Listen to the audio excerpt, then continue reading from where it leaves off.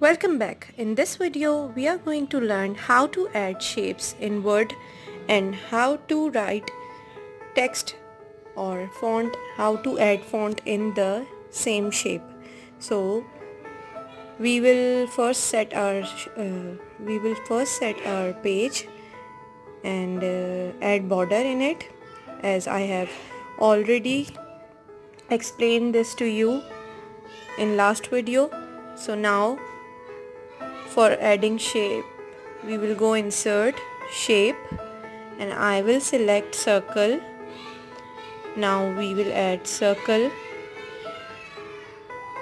Now there are different shape styles as you can see in this arrow. If you will click you will see different different styles of shapes.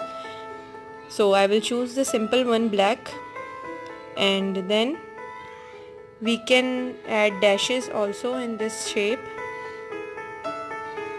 So for width we can uh, we can choose width according to our need. And then we can also add uh, dashes.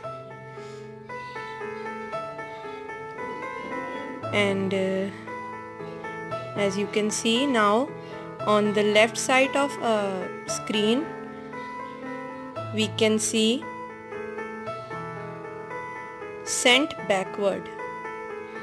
So for writing text inside the shape choose send backward send behind text.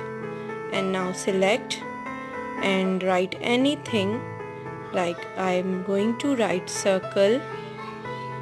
And uh, you can select this font and you can add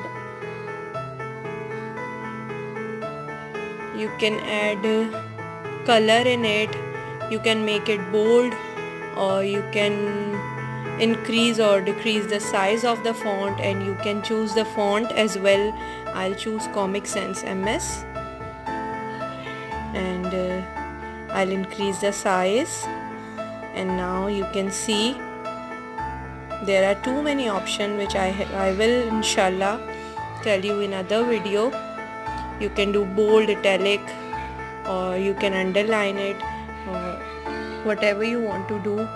These three lines align text behind behind or forward or uh, to the center I'll choose center. Now you can see I I'll show you again. Insert shapes. I'll choose a star. Now you can click and hold it. Now again you can select the style of shape. You can see different styles are here. And again I'm choosing my favorite style simple black. And then these are the shades and 3d effects. Everything is there now again if you want to write inside on the left side of your screen send backward and send behind text click on the star and write anything. Or like I'm writing star. Thank you for watching. See you in next video